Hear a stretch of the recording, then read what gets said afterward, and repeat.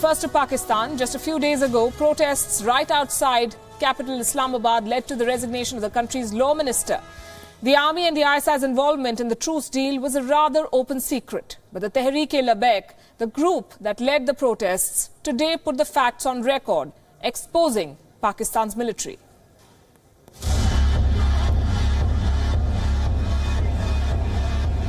Soon after the Islamist protests ended in Islamabad, a Pakistani army ranger was caught on tape handing out 1000 rupees in cash to the Tehreek-e-Labbaik protesters.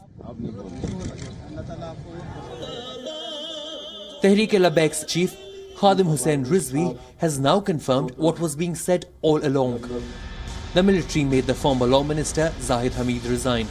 The talks had failed, then the army intervened. My members of Tehreek interacted with the army and the ISI generals. They said your demands will be met. They ensured Zahid Hamid's resignation. Some analysts in Pakistan believe that this sets a dangerous precedent as it legitimizes hardliners in Pakistan. The true tragedy of it, I think, is the fact that the civilians had all the power to negotiate this. They had the power to resolve this peacefully, amicably. Um, they had a lot of time to set up negotiations. Um, they had a lot of time to speak to these people and try and figure out a solution that everyone could agree to.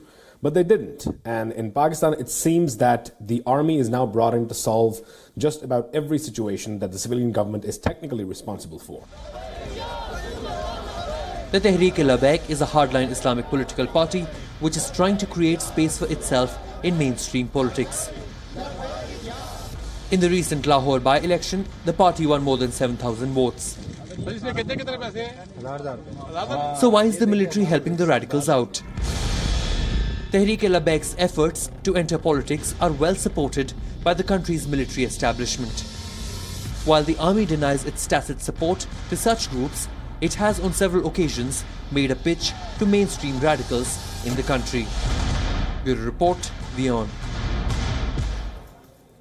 Islamabad's weeks-long siege by the fundamentalist Tehreek-e-Labbaik against an allegedly blasphemous law minister has ended after the army deployed its 111 brigade and the Pakistan government bowed meekly to all demands made by the Islamist group in an agreement. The ground situation in Pakistan is strongly reminiscent of the four coups staged in the past 70 years. Senior foreign editor Padma Rao reads the signs this time and asks, is Pakistan on the verge of another military takeover? Hafiz Saeed, one of the world's most wanted Islamist terrorists, has been freed. He is preparing his newly formed political party for the general election next year. An elected prime minister has been sacked on corruption charges.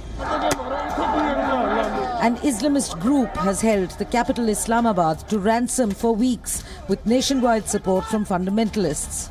A shaky caretaker government has collapsed like a failed souffle, called in the army and agreed to all demands made by the Islamists.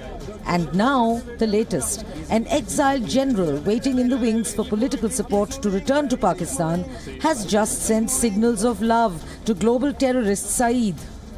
To Shakespeare, the Pakistani skies would seem to be blazing forth the death of democracy. In other words, the best weather conditions prevail for a military takeover of Pakistan. Army Chief General Qamar Bajwa was considered a moderate. Indeed, he was elevated to that role by the disgraced Prime Minister Nawaz Sharif because the latter perceived no threat from Bajwa. But that may be the general's biggest disadvantage now. There are few Pakistanis who hold Sharif in any esteem right now. Importantly, some Sharif haters are those army seniors who were ignored by the ex-PM in favor of Bajwa for the highest military post. The army's other arm, the ISI, is also marbled with fundamentalist veins. The country's 111 brigade is already in position, ostensibly to ensure the smooth withdrawal of protesters. But they themselves are yet to return to their barracks. All stakeholders in the general election slated August 2018 seem anxious to bear their respective positions on television.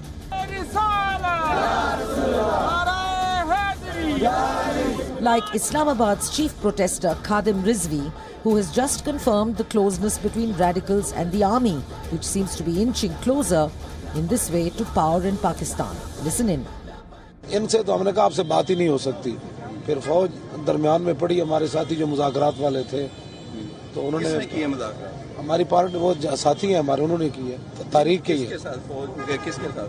फौज के साथ ही की है वो ISI के कोई बड़े होंगे जनरल वगैरह। और जिनके साइन है मुआहदे में।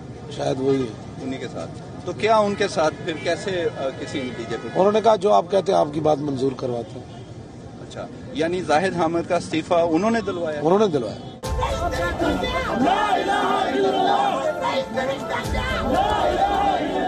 There was a clear and present hint of his popularity when tens and thousands of supporters greeted global terrorist Hafiz Saeed when he was released.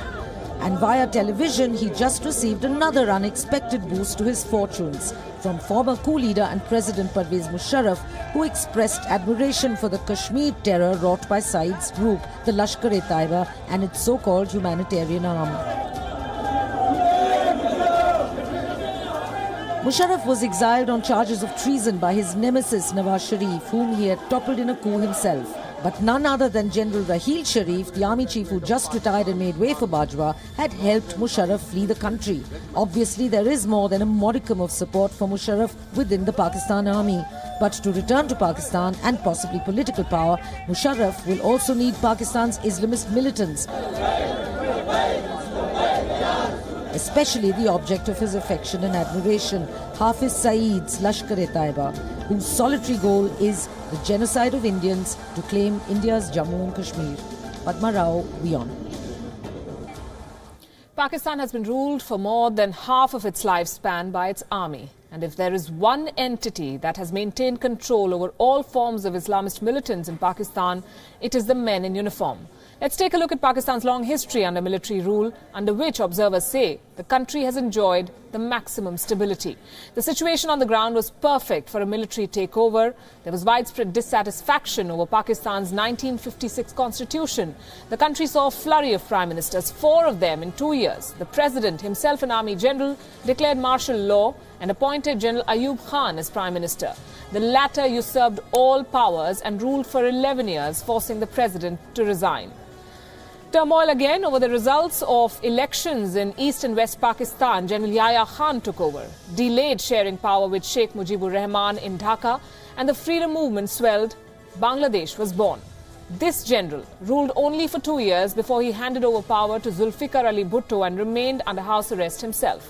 Another election, more turmoil, convincing Pakistan's army yet again that martial law was the only answer. General Ziaul Haq took over, arrested, tried and executed Prime Minister Zulfikar Ali Bhutto. The general is the longest serving head of state in Pakistan so far. His brand of martial law was considered strict but modern.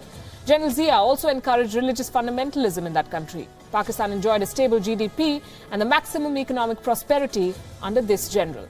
Barely 11 years after General Zia's era, tensions surfaced between Pakistan's civilian government under Prime Minister Nawaz Sharif and his army chief, General Pervez Musharraf, in a dramatic turn of events. As General Musharraf's plane was preparing to land in Pakistan, his army loyalists arrested the Prime Minister and declared martial law. Musharraf declared himself president in 2001 and won himself another five years in office through a controversial referendum in 2002. Pakistan's economy, we have to say, improved under his rule. So did liberal social values. But he fled abroad to escape impeachment and charges of treason. He remains overseas, announcing his return to Pakistan politics every now and then.